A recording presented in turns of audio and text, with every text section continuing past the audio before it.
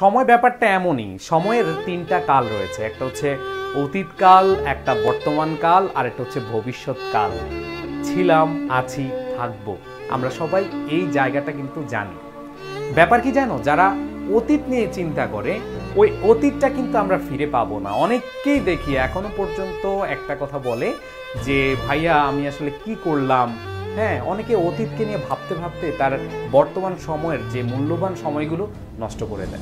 মনে রাখবা, অতীত নিয়ে এবং ভবিষ্যৎ নিয়ে কখনো ভাববে না। কারণ এই তিনটা সময়কালের মধ্যে এই দুইটা কাল তোমার জীবনের জন্য হুমকি স্বরূপ হতে পারে।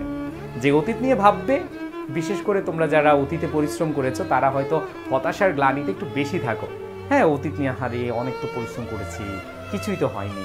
আমি তো মনে হয় যে কিছুই পাইনি।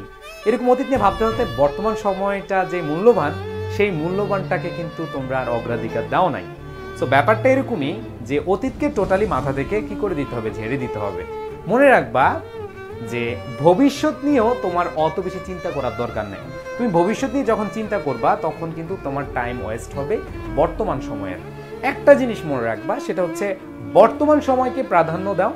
বর্তমান সময় তুমি কীভাবে সময়কে কাজে লাগাচ্ছ, কীভাবে তুমি সেটাকে প্রপার ইউজ করে নিজের ভবিষ্যৎটাকে গড়তে চাও, সেটা যদি তুমি বুঝো, তাহলে তোমার ভবিষ্যৎ লাগবে না। ভবিষ্যৎ এমনি এমনি ক্রিয়েট হয়ে যাবে। সো ব্যাপার, এই তিনটা কালের মধ্যে শুধু একটা কালকে বাস্তব ভাববা, সেটা হচ্ছে বর্তমান। অতীতকে নিয়েও না, ভবিষ্যৎকে নিয়েও না, কোনোটাকে নিয়ে না একবারে নিজের বর্তমানকে নিয়ে পড়ে থাকো, তাহলেই দেখবা তোমার জায়গা থেকে তুমি বেস্ট একটা আউটপুট দিতে পারো। মনে রাখবা, ভবিষ্যৎকে, ভবিষ্যৎ গড়ার কারিগর কিন্তু বর্তমান সময়। বর্তমান সময়টাকে ইউটিলাইজ করো। ইউটিলাইজ করলেই কিন্তু অটো তোমার ভবিষ্যৎ হয়ে যাবে। অনেকেই ভুলটা করে থাকে। তোমরা অনেকে ভাবছ যে এখনও অনেক সময় আছে। হ্যাঁ যারা সেকেন্ড টাইমার রয়েছে, যারা ভাবছ যে অনেক দিন পরীক্ষা আছে, পরীক্ষার আগে এক মাস, দুই মাস ধুমায়া পড়ব, ব্যাপারটা কিন্তু এরকম না। পড়াশোনার ব্যাপারটা হচ্ছে যে কোনো কাজ, পড়াশোনা আমি বলব না।